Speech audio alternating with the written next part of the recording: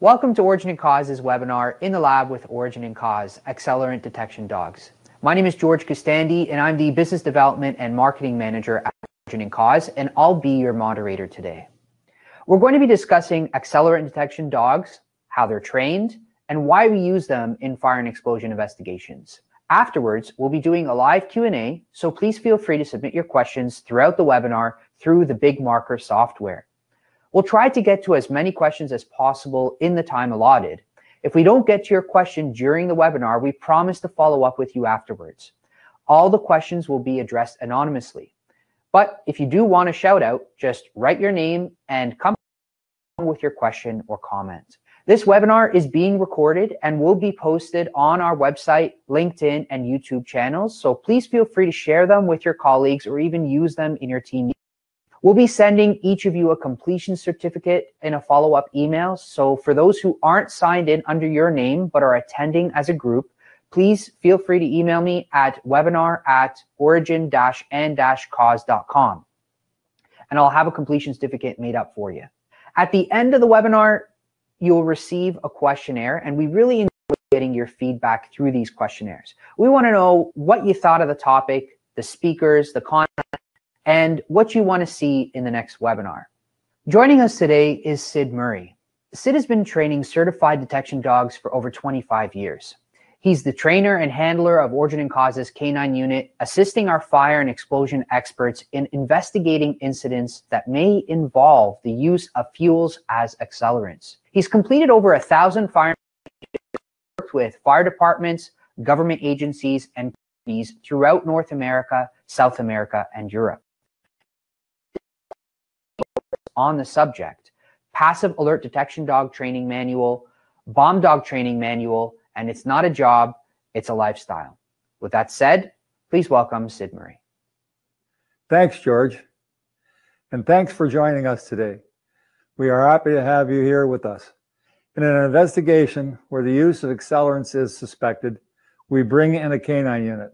In order to confirm the use of accelerants, it's incredibly important that we get accurate samples from the scene to send to the lab. The outcome of the entire investigation rests on those test results. If they come back positive, it can lead to a discussion around insurance coverage, fraud, or arson. If they come back negative, it can prematurely conclude the investigation, and the difference between the two can be a matter of inches. That level of precision can be difficult for a human nose to achieve. It's well known that dogs have a better sense of smell than humans. It's actually between 10,000 to 100,000 times better. That can be difficult to grasp because as humans, we don't overly rely on smell. But put in the context of sight, if you could see and recognize something at 500 meters away, the dog would be able to see and recognize the exact same thing 5,000 kilometers away. This allows the dog to detect extremely low volumes of accelerants with far more accuracy and speed than humans or even machines. From ages of one year or older to sniff out and lead fire investigators to traces of unburnt fuel so the samples can be taken from precise locations and sent to the lab for analysis. An accelerant detection dog greatly increases our ability to locate the residual scents of flammable substances.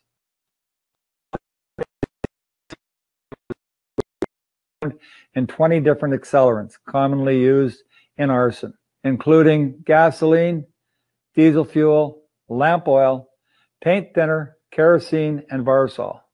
We've been involved in investigations where competing experts have collected samples based on their own sense of smell and have come back empty handed. When our dogs go through the scene, they tell us exactly where the accelerants are located and where to take a sample.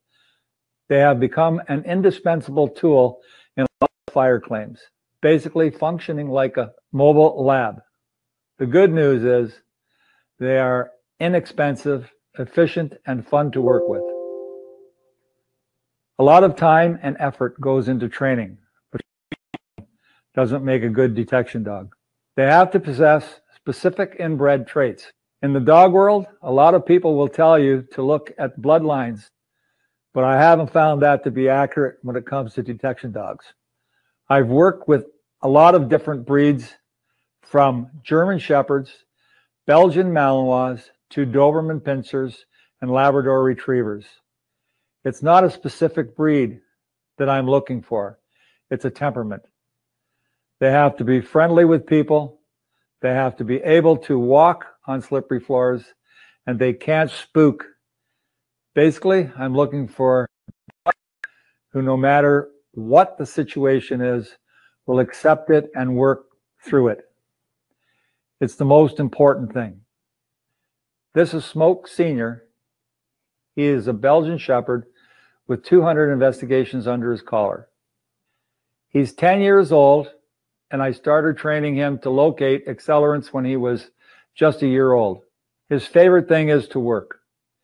He doesn't take breaks or vacations. All he wants to do is work. And here we have Smoke Jr. She is a Belgian Malinois, two years old, and she's already started doing some fires. I bring her out after smoke in the same spot. She hasn't missed one. One thing that I look for at the outset when identifying a potential detection dog is a high toy drive, meaning that if I throw a toy, he'll run it no matter what. When I get a new dog, I throw a toy in a field. Hold the dog back, make an about turn, take him back to that area, and let him off leash. If he doesn't find the toy, or he returns without it, or quits searching, then I know right away that he's not cut out for detection work. While we use dogs to locate accelerants, explosives, and drugs, from the dog's point of view, he's just after his toy. Regardless of the situation or what's going on around them, all they want to do is find their toy, which is where the high drive comes into play. What we are really doing is tricking them into finding accelerants using the toy as a motivator. But in order to do that, we have to associate the scents that we want them to detect with the toy they want to find. To start with, you hide the toy with an accelerant. A single drop is enough. Let the dog see you walk into the room with the toy. When you come back out, he'll go in and find the toy where he detects a scent. Repeating this process will eventually teach the dog to associate getting his toy with locating the scent. The next step is to remove the toy and teach him to detect where the scent is. Once he indicates, you reward him with the toy.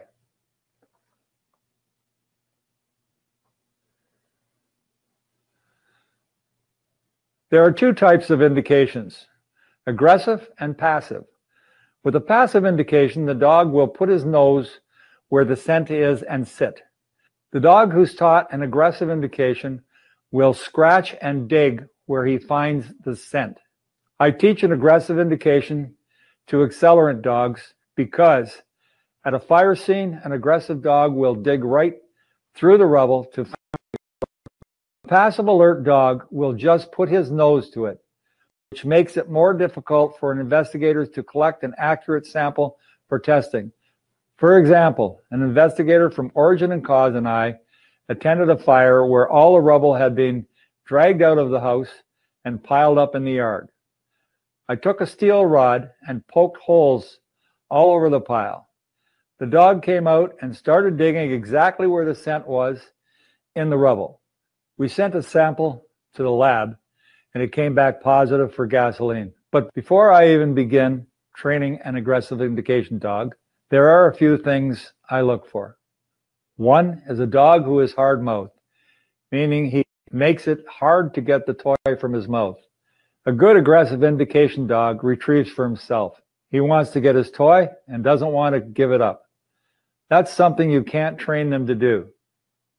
The other thing I look for is a dog who is prone to using his feet. I place the toy under my foot and see if the dog automatically uses his feet to dig it out. Some dogs, even though they are ball driven, won't dig with their feet. If you don't have that in the beginning, you have a lot of training to do in order to get that aggressive indication. The purpose of this specific training exercise is twofold. Again, I am teaching the dog to associate the scent of the accelerant with the ball. But now I'm also teaching them to dig stronger with their feet. First, I drop the toy in the block with the scent. This teaches the dog to use his feet. And you can see he's using his feet to try to dig the ball out of the block. Now, the last block you go to is the first block he digs at. So I walk back to the first block to ensure he's searching all of them. This is the next step to teach an aggressive alert dog. I've dug a hole under the block. I hide the ball underneath the block with the scent and just leave enough of a crack so the dog can smell it. Once the dog indicates and scratches to get the ball out, I pull him back, making a competition between him and I to get the ball. The important part is to kick the block over in the middle of his digging. This teaches him to dig longer. Now we do the same exercise, only without hiding the ball under the block. At this point, the dog has learned to associate locating the scent with getting the ball. Once he finds the ball with the scent and starts digging, I reward him by giving him the ball. Once training is completed, we do one more last test to make sure the dog is ready for the field. Accelerant in the building. I give the dog his head, meaning I take the leash off and let him find it on his own.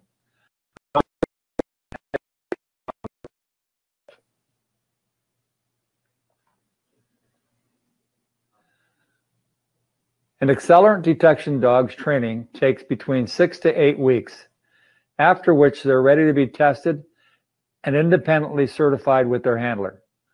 Upon successfully passing their independent certification, they can go on to be an accelerant detection dog team.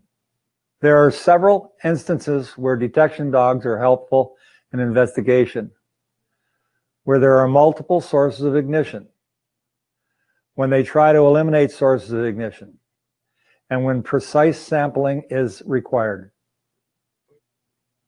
If an investigator goes into a scene to do a preliminary investigation and smells an accelerant, he'll first check to see if there are any accelerants stored on the property. In some cases, it makes sense to find accelerants present. For example, I attended a fire with Tom Hutton of Origin and Cause at a garage that repaired diesel engines. So naturally, you would expect that you'll find diesel fuel in the area. When we went inside, smoke hit on two or three spots right away. We took samples and all three came back gasoline, which shouldn't have been present at the site. Now your investigation has gone from an accidental cause to a potential arson. When an investigator finds multiple sources of ignition at the scene, that's a red flag for arson. We need to either prove or disprove the presence of ignitable liquids in order to help determine if the fire was deliberately set. I remember meeting Mazen Habash at a fire scene. He told me going in that he was sure of four different sources of ignition. Smoke came out with 11, which was overwhelming evidence of arson. I got a call to go up north and check out a cabin. I assumed it was a new fire, but the case was actually 10 years old. As soon as I got into the cabin, smoke hit on what was left of the floorboards. The forensic investigator took samples to send back to the lab, and they all came back positive for gasoline. In one particular instance, Tom McIntyre and I were investigating a fire the house had had been proven to have a Molotov cocktail thrown at the back patio door. The dog went around the house in the in the property and dragged me underneath the patio and indicated an accelerant. Tom had me stop because the smell was pretty strong at that point. I continued around the other side of the house onto the porch. Going in the front door, the dog indicated on the front porch at the door sill. Just give you an idea that someone had tried to murder this fellow. An accelerant detection dog's involvement in an investigation brings incredible value to a file when it comes to cost, time, and efficiency. As experienced investigators and forensic engineers, we can analyze burn patterns, evaluate shapes and sizes of burn areas, deep charring, low burning areas of consumption, and other factors for selecting areas to sample. But if we suspect the use of dog brings a whole new level of accuracy and efficiency. All right, thank you, Sid. Uh, so we're going to proceed with uh, some taking your questions right now. If you don't mind, just going into the uh, panel of Big Marker, the software that you're in, and submitting your questions on the right-hand side uh, of the console. Um, in the meantime, while you guys are putting in your, your questions, I'd like to go through just some details on Origin and Cause and who we are. So Origin and Cause is uh, the largest forensic engineering and fire investigation firm in Canada. We were established over 27 years ago. We started actually our first office in Ancaster, where the lab is, where we are today. Um, and uh, that was in 1991, and very slowly have grown and steadily grown to 15 locations um, in Ancaster, Ontario, Mississauga, Kingston, Ottawa, Sudbury, London, and Windsor. We also have offices in uh, an office in Halifax and in Sydney in Nova Scotia. We have an office in Winnipeg, in Calgary, Edmonton, Saskatoon, Yorkton, in Victoria, as well as we have an office in Vancouver opening up very soon. We have over 40 forensic experts that are servicing the uh, our, our clients across the country. Now, when it comes to reporting and getting onto scene, this is something that is very, very important to us is, is the fact that we want, we take pride in the fact that we get on site as quickly as possible um, and make sure that we get reports out to our clients very quickly. That's something that is a, a huge uh, uh, monitored performance for us internally, and we make sure that our staff are once we receive a notice of loss, we get on site immediately and we preserve the evidence, we preserve the scene, make sure that the scene is uh, uh, documented properly, and make sure that we are able to conduct a, a reliable investigation. And that's why we have actually opened offices across the country. You know, originally when we only had one or two offices, and we are being called to go to far further areas such as say for example windsor ontario we get into the car and start driving right right away but it's still a four hour drive from the closest location. And that's what's inspired this growth this geographical growth for us where we ended up opening up shop in windsor so that when we do get a file that we are out there within minutes and making sure that the scene is is organized or is is uh, secured and that there is no contamination of the scene or the evidence. So we try to get out there right away and we call the adjuster or the client, whether you be a, a lawyer or a risk manager or, or, or, an adjuster, we call you guys from the scene and we let you know what had taken place. What did we see? What did we do? Uh, what are the next steps? And make sure that the client is well aware of the status of that claim whether you're an adjuster and you're looking to confirm coverage or and and and make sure that your your um, contractors get in and start doing their work or you know if coverage is not an issue but you're looking to uh, looking specifically for subrogation you want to make sure that the scene is preserved and all the compo- related components are preserved we make sure that we give you uh, a, a, quick heads up as to what's going on and we follow up with with an email very quickly. And that's just on the scene. Then we get once we get back to the office, we provide you with a preliminary report uh, and send it to you in a PDF uh, via email within 24 hours, just to let you know exactly what has taken place, what are the next steps, if there are any next steps. Um, and a lot of times we'll be asking our clients as to whether they would like a more elaborate report. Now, these days, we're noticing a lot of adjusters are asking for various types of reporting. The, the most common kind of variation that we're being asked these days is whether we can just not put it in a formal report, but just a quick email. Just throw a, couple of lines for me in the email. Um, I don't want to drive up the cost of the investigation. And so, and, and we're very happy to do that, be, being able to render our opinion in a cost effective way. And our clients are loving that. The fact that we're able to send you an opinion to say, you know, whether there is subro potential or not, or whether there are further investigative steps that need to be taken. Um, and so that's just something that that we have been trying to be agile with and making sure that we're responding to our clients' needs with, in that way. And people are loving it.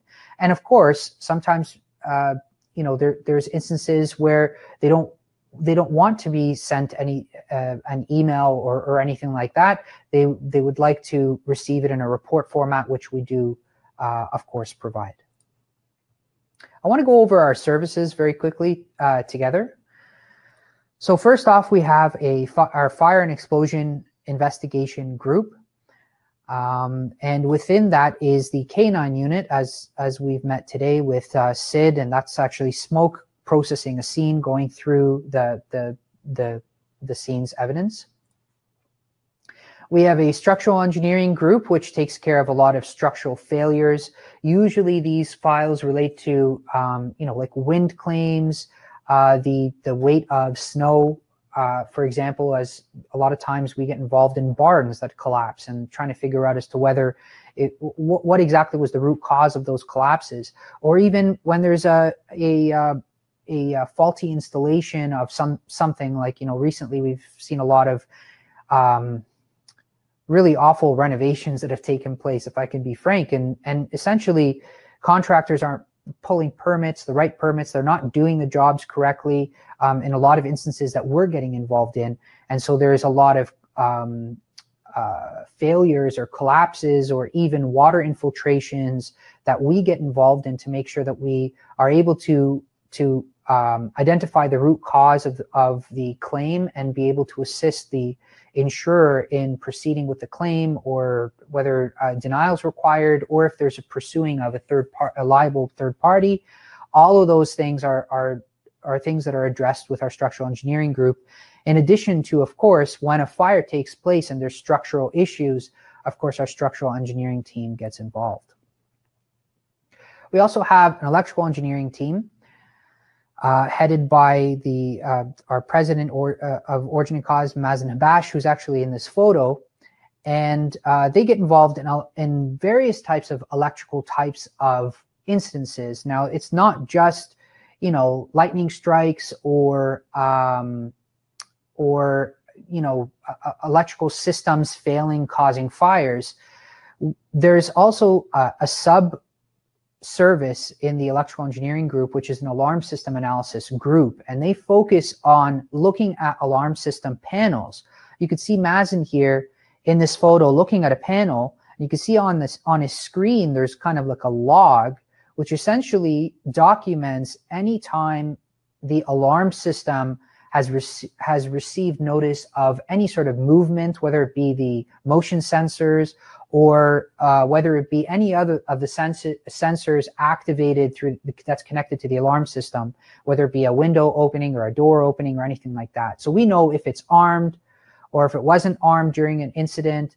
Um, I know a lot of insurers offer discounts for insureds that uh, claim that they do they do have an uh, a monitored alarm system, and we're asked, was it in fact armed? Was it in fact in in use? Was it monitored, etc.? Was there anyone in the house during a burg- burglary or a, or a suspected or a suspected burglary?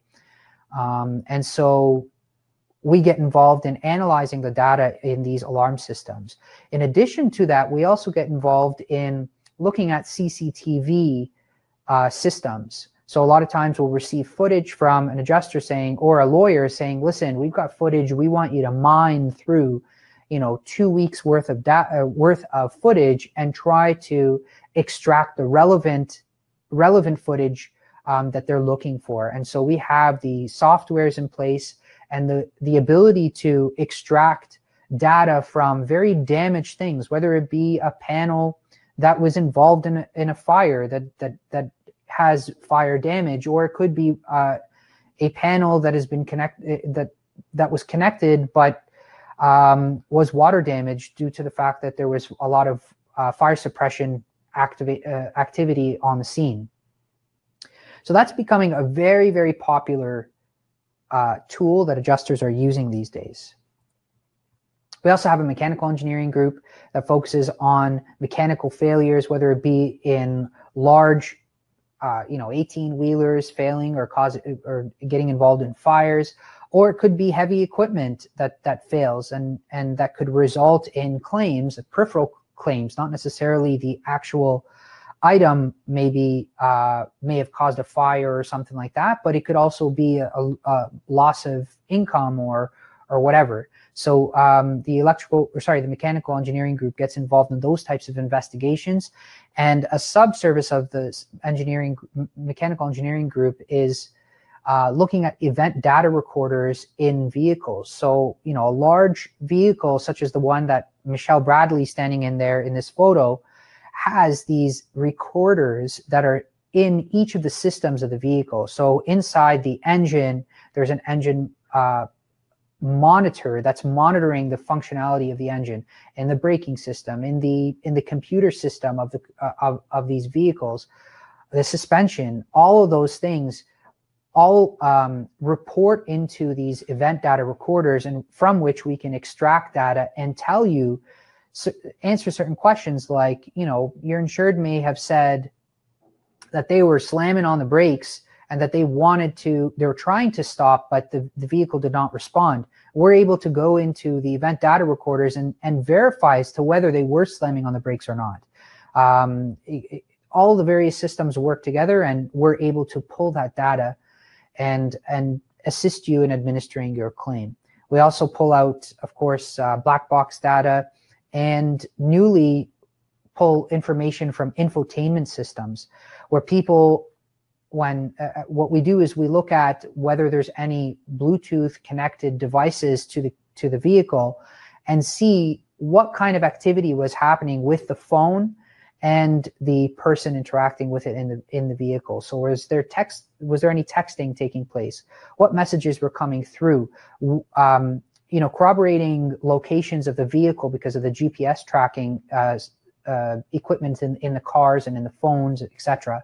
So there's a lot of great information that we are able to assist uh, adjusters and lawyers with from extracting the, the infotainment information. Next, we have uh, our materials and metallurgical engineering team, which gets involved predominantly with water claims. Um, that's when you know we work very closely with subrogation teams looking at failed components such as sump pumps or um, braided hoses from behind you know toilets and and and and sinks and so on. Also when it comes to um, uh, water lines that fail behind uh, refrigerators and dishwashers all these things the materials group gets involved. They look at the the, the material that is that is um, installed whether it be a braided hose looking at the molecular structure of that that braided hose to see was it a mechanic was it a material failure due to um, a manufacturer's defect? Was it installed incorrectly? Was you know there's there's an infinite amount of reasons as to why something failed and the materials and metallurgical team get engineering group that gets involved in a lot of spontaneous combustion claims as well as product liability claims and uh, bodily injury claims. So that that's predominantly what our chemical engineering group gets involved in. Origin and Cause is leading the industry when it comes to forensic litigation experience. We have been involved in over 1,500 legal cases, qualified as expert witnesses in all levels and types of Canadian courts. and we've testified as expert witnesses in over 170 litigation proceedings in Canada, the United States, and internationally. I want to encourage you guys to go check out our website. We've got a lot of great resources on our website, including all the other webinars that we've conducted in the past. Similar to this one, we have a couple of them that have been in the lab that have focused on like a fire fire related um, claims and another one about water claims. So if that's of any interest to you, they're they're pre-recorded and they're they're um, posted on the resources section of the of the website, which you can see on the left panel there in the kind of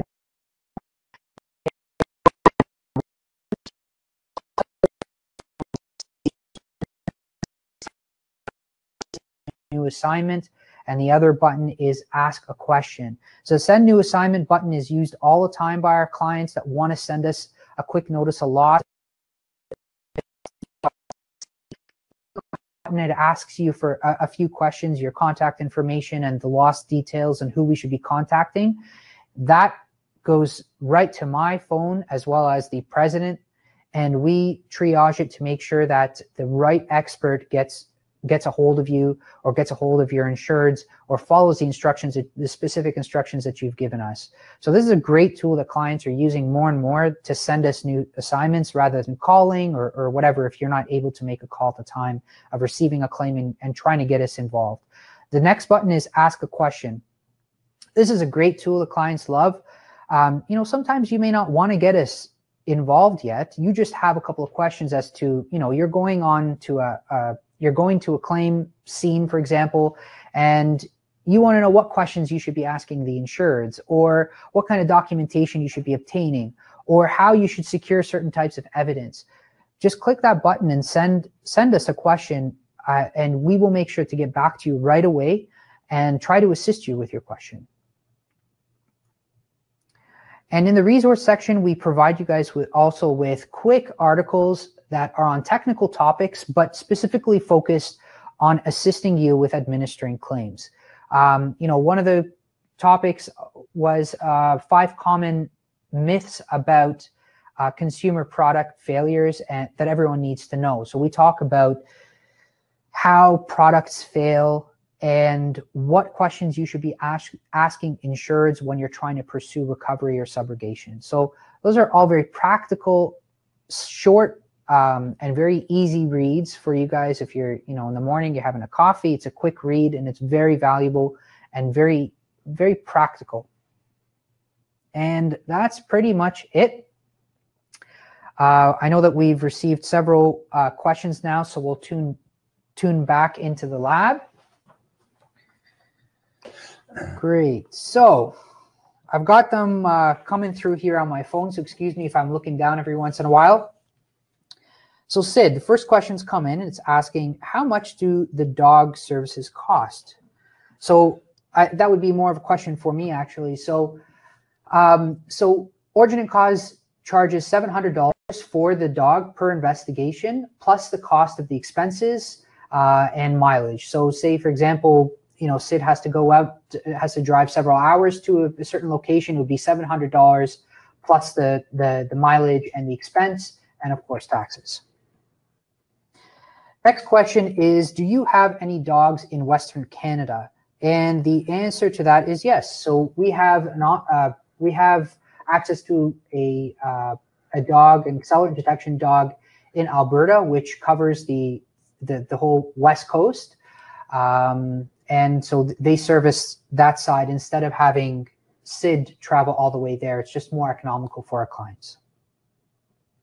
Next question is is Smoke Senior the original Smoke? It's a good question. Um, excuse me. Uh, he he's the, actually the fifth uh, Smoke.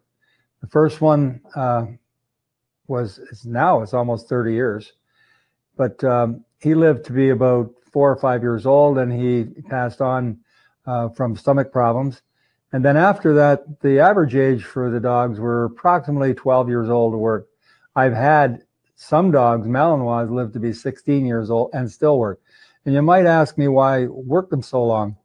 Well, they they really would go stir crazy trying to live in a home with no work at all because their whole demeanor is work. Uh, wherever you uh, want to work, they're there 100% of the time. Cool. So you said this was what generation of sit are we at now? At five. We've got the first one was a shepherd, the next one was a shepherd, the next one was a uh, uh, a shepherd, and then now the one now is a Dutch shepherd, and uh, her his his underling Smokes Junior is a female Malinois, and I'm sure you're familiar with that breed because they're using them in the military and police now as well. Great. Okay, next question. How many years do they stay in service usually? Like, is there an average? Smoke Senior now is uh, 10, 11 years old. He has had no health issues at all, uh, no hip problems, which is common in four-legged beasts.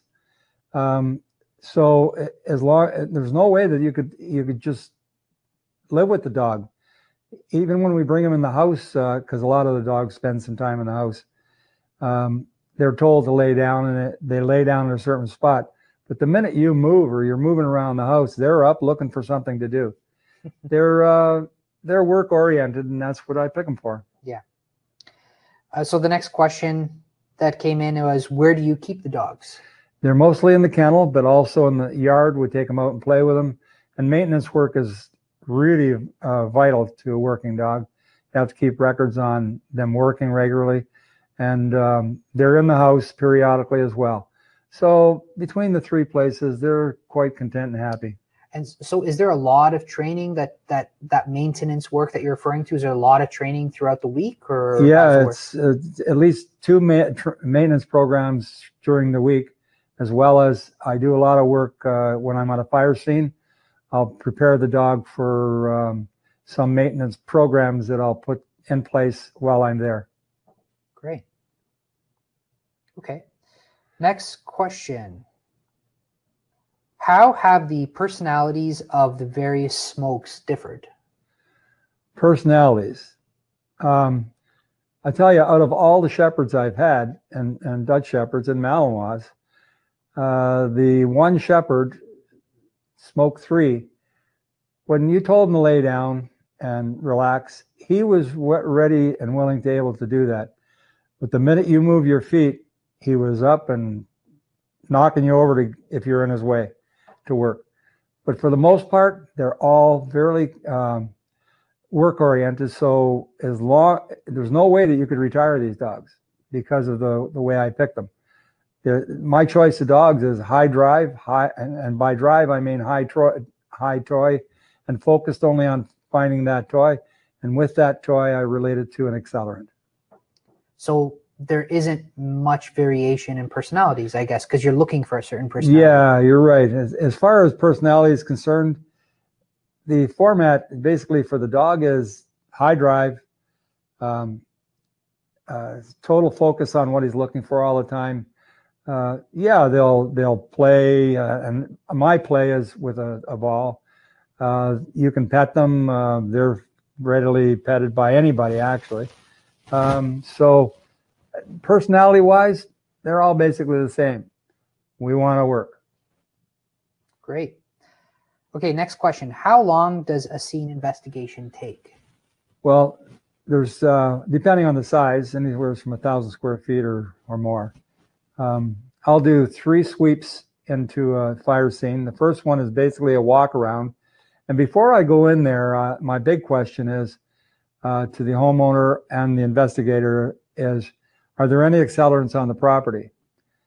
And if there are accelerants, I'm aware of it. And what I'll do is I'll do just a walk around sweep and let the dog have his head and check wherever he wants to. And every time there's an accelerant storage area, he'll hit on that as well as any accelerants that are in an area of the fire that shouldn't be there. So then this, I'll put them up, uh, rest them, give them some water, take them back in. I'll do a search again. During the search, I'll have be a little bit more uh, directive towards the areas I want checked, uh, mechanically checking this and that and whatever, and then bring the dog back out again and give him a rest. The third time, I always make three sweeps. The third time the dog goes in, he's a little bit more detailed search.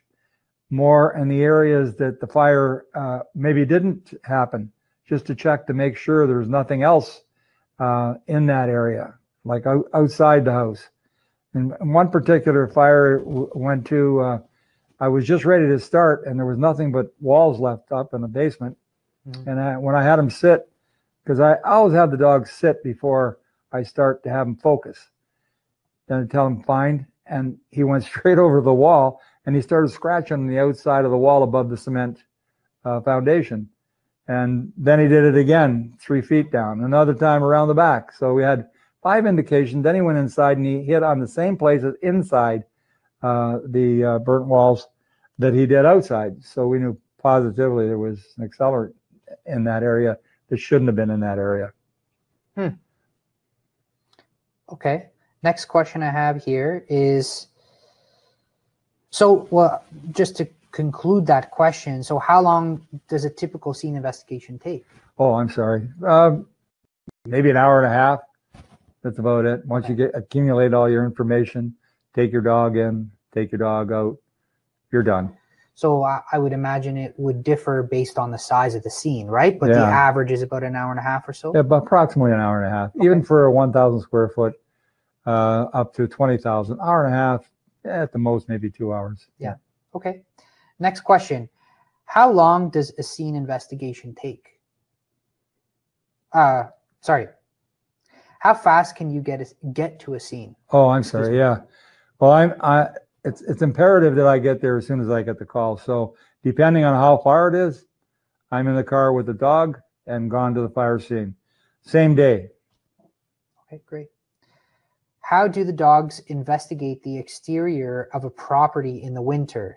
Are they affected by snow? That's a good question. Yeah, it's a very good question, and you know you'd be surprised at the answer. Um, after I've done the interior, I usually do a walk around the property just to check to see if there's any containers uh, that are obviously under the snow. And many times the dog has gone around and two feet of snow, two and a half feet of snow, and dug down to a container that's under the snow. That's been quite common. Amazing. That's really impressive. So so so I guess the vapor of the accelerant is not uh, dulled by the the cold in the air. It doesn't seem to be. I'm not a chemist and I can't give you a thorough answer about that, but all I can do is tell you that it is common for him to go along the top of the snow. And I don't mean where he steps, he finds the container. He'll drag me over to 10 feet away with the wind blowing into his face and then start to dig down on, down on brand new cold snow and hit a container under the snow. Wow, that's really cool. Uh, okay, next question. What is the success rate of the dogs hitting on accelerants in a scene and the results obtained from the lab? So, if I understand this question right, I think what they're asking is, you know, for the times that, I mean, if a dog were to go out 10 times and indicate 10 different times, um, how many times would the lab verify that in fact there was accelerants present? Well, with my maintenance and the work that I do on the scene, um, I know the dog is hitting on accelerants. The the big problem is that um, the the uh, odor may deteriorate quite a bit, um, and you're going to get uh, a 95% success rate on your dog and your dog's indication being the same as the mechanical device used for um, uh, checking on the samples. I've heard that there's been times where the the test comes back negative Mhm. and that you guys ask for further testing, Right. more elaborated testing, and that they come out positive. Absolutely. That's yeah. unbelievable. Yeah. Well, so so in that particular case, um, wow, that's that that's pretty amazing. Obviously, the dog's sense of smell.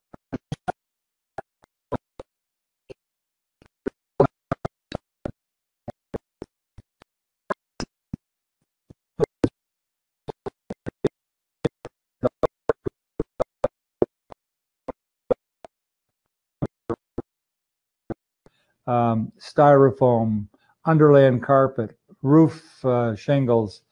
All the products uh, are are byproducts of, of petroleum, but still the dog only hits on fuel. That's very interesting.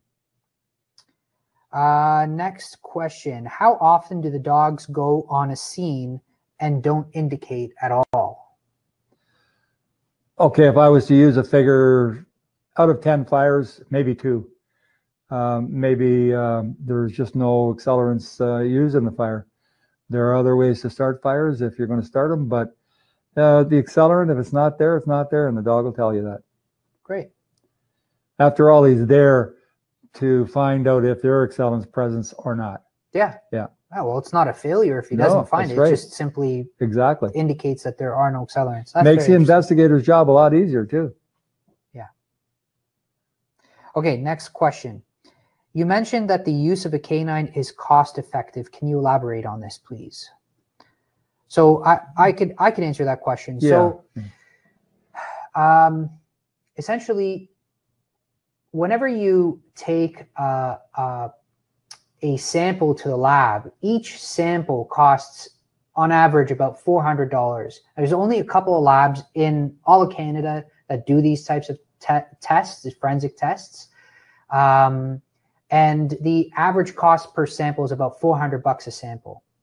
So if you are relying on a uh, fire investigator to identify the precise location of where an accelerant has been poured and to take that sample and take it to the lab, um, they may take more samples and have more samples tested to make sure that if, if it if it wasn't this one sample where I keep smelling it, it may be two, you know, two feet away. I'm going to take this sample as well. So the cost of samples increases significantly as opposed to having the canine unit. They go in and they tell you precisely exactly where to to um, to sample. So you will have a significantly lower amount of samples that you are you are paying for ultimately. Now, here's an example of exactly what you're talking about, uh, George. Uh, we went into a, it was a kind of a cottage home, and the, the uh, fire uh, investigators had pulled out everything out of the house. There was nothing on the floor. There was a little bit of the walls left, but as far as the fire scene, you didn't know where it started or finished. So they had a big pile of rub- rubble from the interior of the house off to the side. And we went in there, we got no indications in the house. But when the dog went out, and uh, uh, before the dog went out, I used a steel rod and poked holes in that pile of rubble. And the dog came in and dug down to exactly where the, sor- the, the source of the odor in the rubble was. And that's where John Cool took his sample. And it came back, I believe we took three samples there, three indications, came back positive. Amazing. Uh, all right, next question. The added expense of a canine investigation would need to be justified to my superiors. What would you say are the most compelling reasons why a canine would be needed? So I think we we addressed that in one way, the fact that um, you will need less samples, so the overall investigation or cost of investigating it from an investigative from a forensic standpoint will be lower. So cost it is very cost effective.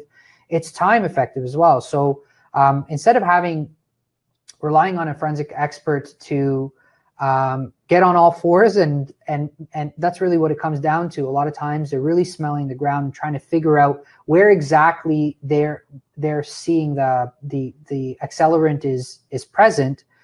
That takes a lot more investigative time rather than having smoke go in and te- and and indicating precisely. Um, another advantage, of course, or a compelling reason why to get a canine uh, involved is um, its turnaround time. So, in, it, overall, it tells you exactly what to uh, to sample, and it gets the sampling process started immediately, as opposed to doing other ta- tests in the lab prior to sending it to the the main lab to be to be tested. Um, the the the dogs are are assist you in being very precise. That's correct. Yeah. Is there any other reasons that you would say is compelling to get a uh, a canine unit involved? Well, there may be an accelerant somewhere where there's no fire at all. Like, you know, example would be, as I said before, uh, checking the outside of the, the exterior of their house. In one particular case, I mean, I don't know where it went after we did it, but we had a, a rooming rooming home, and uh, the dog indicated on the steps and the threshold into the back door, and um, we checked the hallway and the rest of the place hadn't been burnt, but there was a lot of smoke damage. Went to the the front down the hall to the kitchen, and then he pulled me over to the front door, and on that threshold in the front door there was accelerant as well. I could smell it when he was digging. So um, there was more involved in that fire than just a fire. Yeah. So I got another question here. It says, is this recommended for vehicle fires or would the gas from the vehicle affect the results? Well, um, I, I, I think on only one occasion I've ever used a dog in a fire, and it was in a showroom in a, a, a for vehicles in a car dealership, uh, where gas had been poured in there on the seat and the and what we needed was exact uh, uh, samples taken. Uh, but a, if you're doing it on the street to a, a car that's been burnt, uh, there's so much gas around from the fire, the, the tank. And an example, uh, uh, as well as a, a, a, false indication, which is not a false, where the, the odor comes up the bottom of the floor of the car from a gas tank and through, say, a gas pedal.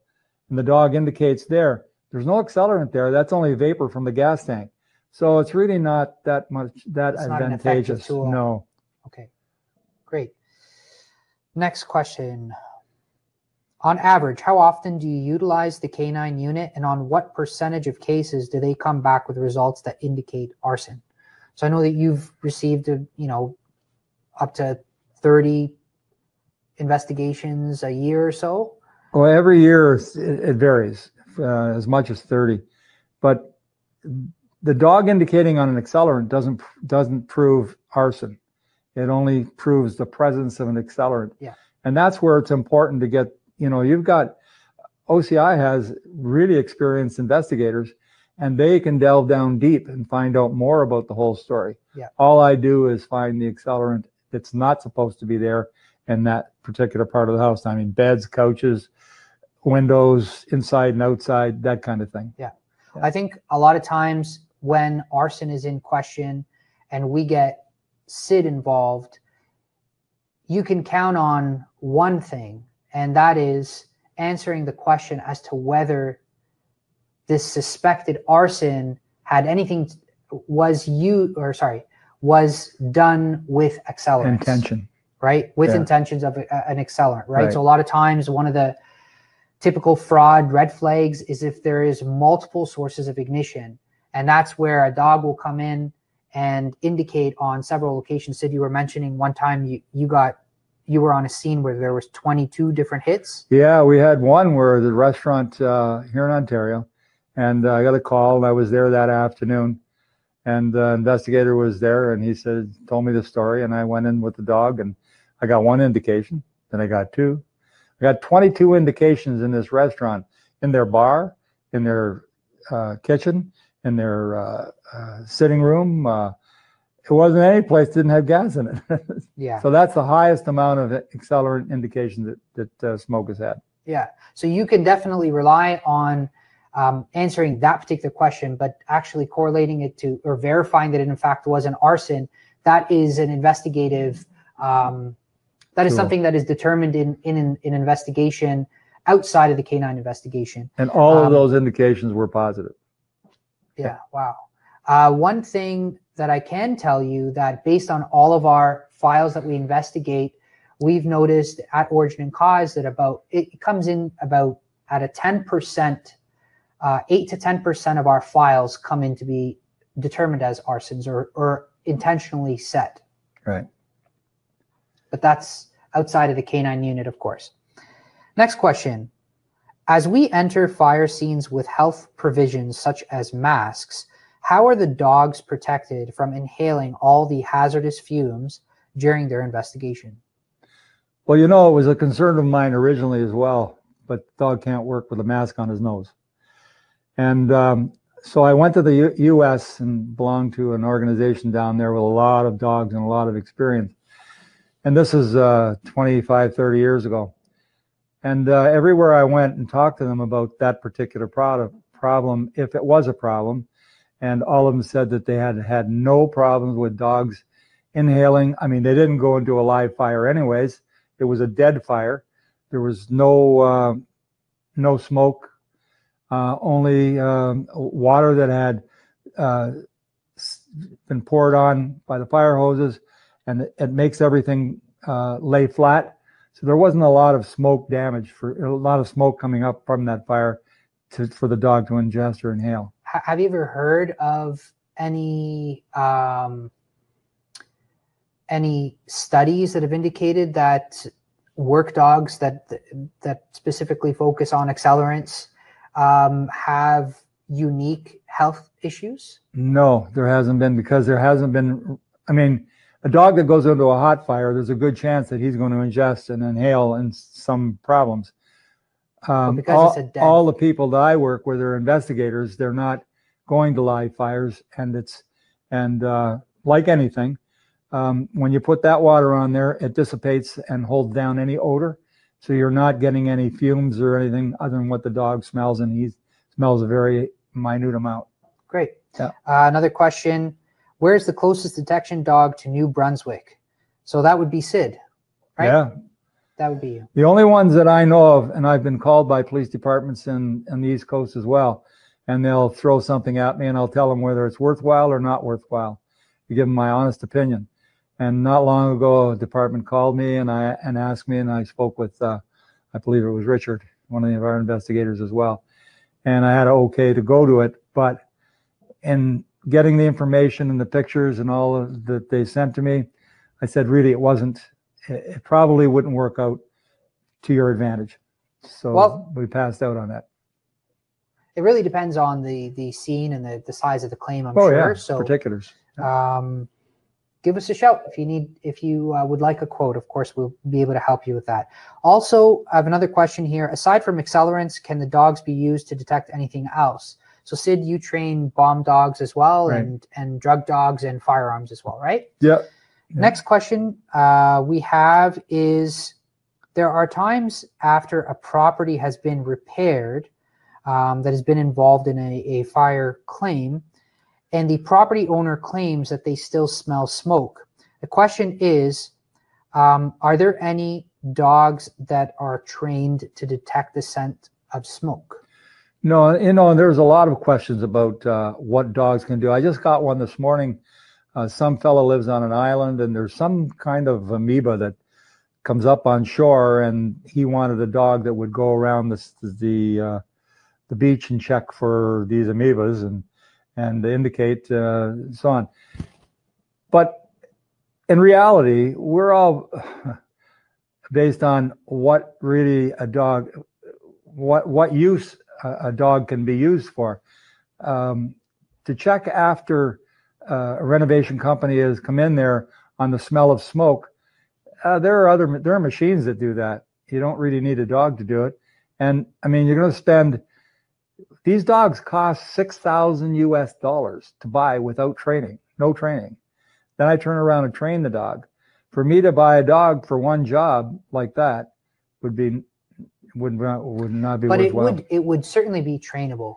Oh, right? it's, trainable, it's trainable, definitely, definitely. The only thing, the only disadvantage that I would find to to hire a dog to to sniff out the smell of smoke is the fact that they they smell so much, uh, so much more acutely and so you so uh, you know it's very possible that they could smell smoke sure. in anything that was related to oh, a yeah. fire yeah. whether a human could smell it or not verifying right. that a human could smell it or not is a different story altogether yeah. we've run out of time so i'd like to thank you all for joining us today thank you sid for coming thank you out for having me and uh, we will be sending you guys a email survey with just a few questions. If you don't mind just responding to those questions, that'd be great. We really rely on your feedback.